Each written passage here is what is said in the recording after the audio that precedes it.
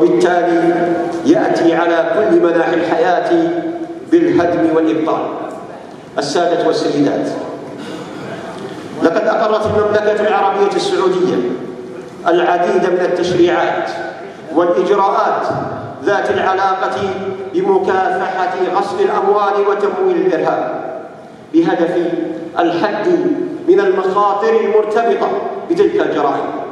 والمملكة أكدت وتؤكد من جديد التزامها القوي بالجهود العالمية المشتركة لمكافحة غسل الأموال وتمويل الإرهاب التي تهدف إلى مكافحة غسل الأموال وتمويل الإرهاب والتخفيف من المخاطر المرتبطة به وتجفيف منابعه. وقد أشاد تقرير التقييم المتبادل حول المملكة العربية السعودية والذي نشره فريق العمل المالي فاتف في سبتمبر 2018 بمستوى التزام السعودية بتوصيات المجموعة. وأوضح التقرير أعني تقرير فاتف أن إجراءات المملكة الوقائية لمكافحة غسل الأموال وتمويل الإرهاب قوية ومتينة. وبالتالي يأتي على كل مناحي الحياة بالهدم والإبطال. السادة والسيدات. لقد أقرت المملكة العربية السعودية العديد من التشريعات والإجراءات ذات العلاقة بمكافحة غسل الأموال وتمويل الإرهاب بهدف الحد من المخاطر المرتبطة بتلك الجرائم.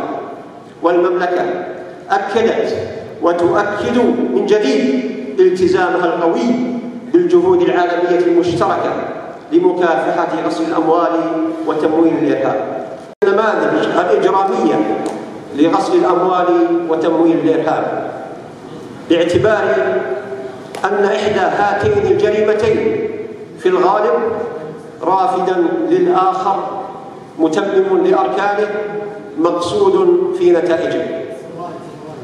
فكم من جريمة تمويل الإرهاب غذيت أصولها ومولت أركانها من جريمة غسل الأموال. مما يقع على الدول العبء العبء في إطار مكافحة تلك السلوكات الإجرامية داخليا وخارجيا عبر الأطر القانونية والإجراءات الاحترازية والتدابير الوقائية. وقبل ذلك كله بتعزيز التعاون الدولي لمواجهة تلك الجرائم. أيها الزملاء لعل من أهم الخطوات الإيجابية التي